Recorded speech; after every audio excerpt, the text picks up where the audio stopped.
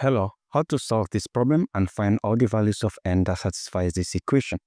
We have n times n times n, and this equals n plus n plus n. Now, we are going to start by multiplying this out. We have n times n times n, and this is n to the power of 3.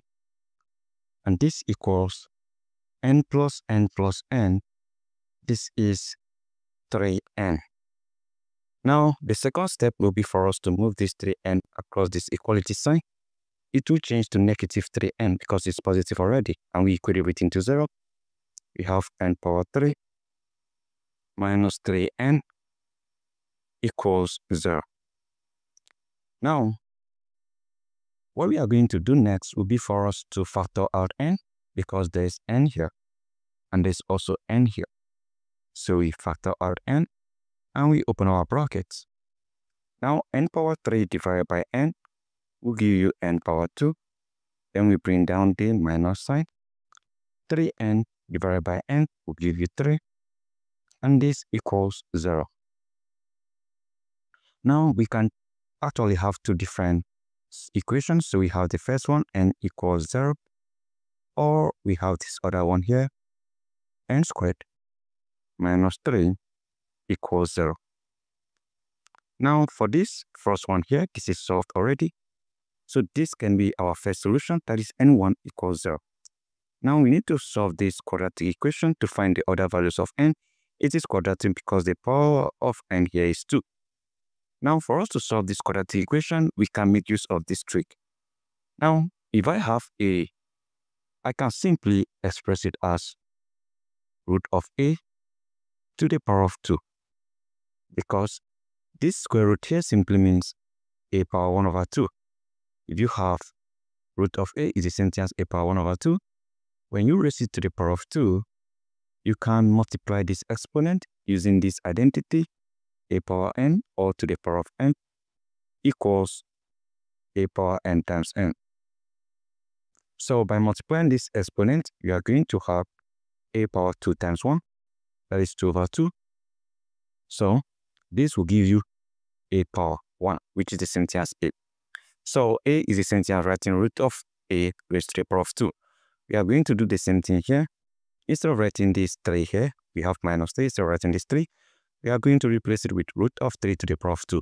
So what we are going to have here is n power 2 minus, we have root of 3 raised to the power of 2, and this equals 0. Now, at this particular point, we have successfully have this exponent to be the same. This is power 2 and this is power 2. And what we have here is minus. Now, if you apply this difference of two squares technique, you have a power 2 minus b power 2, this equals a minus b times a plus b. So we are going to make use of this difference of two squares in order to expand this. So in this particular case, our a equals n and b equals root 3. So let's insert it right here in order to expand this. That means what we are going to have will be for a minus b, we are going to have n minus root 3 times for a plus b, we are going to have n plus root 3 and this equals 0.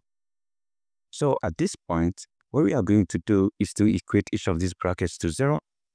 We have the first one, n minus root 3 equals 0. Or we also have this other one, n plus root 3 equals 0. Now, for us to solve this, we can just move this negative root 3 over here. It will change to positive root 3. So we can have our n2 equals positive root 3. This is another solution. Now for this other one here, we also move this positive root 3 over here. It will change to negative root 3. So we can have our n3 equals negative root 3. So we have three different solutions, negative root 3, positive root 3, and 0. Now the next thing we are going to do will be to check for each of these values if they are going to satisfy the equation.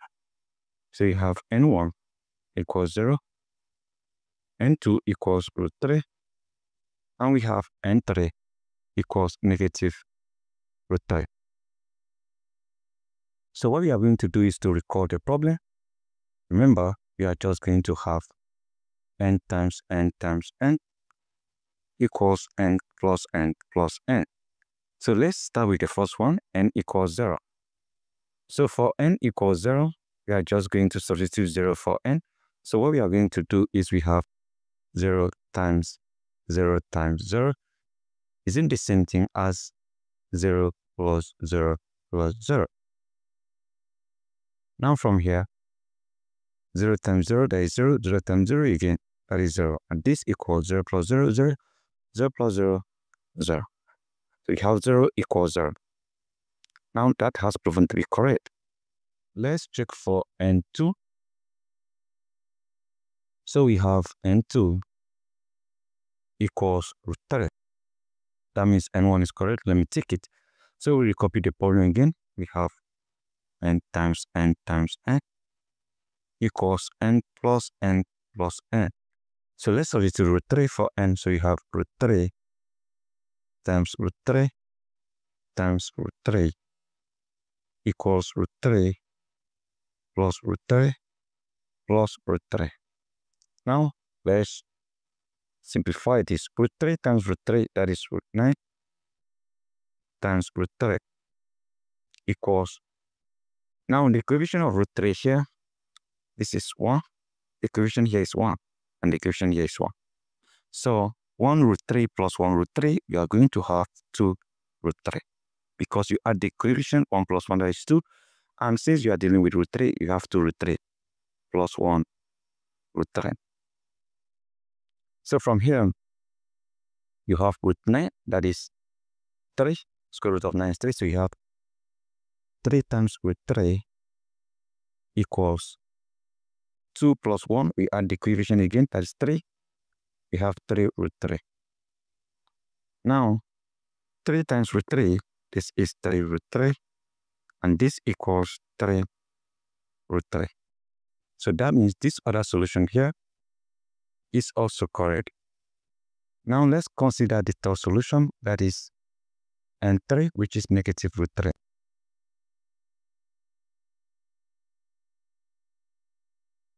So what we are going to do is we have n times n times n equals n plus n plus n. So let's substitute this negative root 3 for n. So what we are going to have is we have negative root 3 times negative root 3 times negative root 3. Is it the same thing as negative root 3 plus negative root 3 plus negative root 3. So what we are going to do will be let's multiply this out. Negative times negative, that is positive. Root 3 times root 3, that is positive root 9 times negative root 3. Is it the same thing as? Remember this, the equation here is negative 1.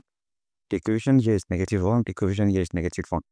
Negative 1 root 3 plus minus negative 1 root 3. Plus times minus is minus. So negative 1 root 3 minus 1 root 3 will give you negative 2 root 3. You add negative 1 to negative 1, that is negative 2. Since you are dealing with root 3, you have negative 2 root 3. Then plus times minus is minus, so you have minus 1 root 3. So this is root 9. Root 9 is 3, so we have 3 times negative root 3. The same thing as negative 2 root 3 minus 1 root 3. Negative 2 minus 1, that is negative 3 root 3.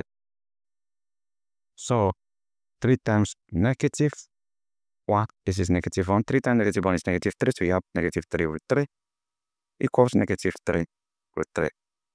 Now, since the both parts are the same, that means the third solution is also correct. So we have satisfied all the three solutions, and that is it. This means the three solutions are obviously very correct. So that is the end of the video. Don't forget to subscribe and share. Thank you and goodbye.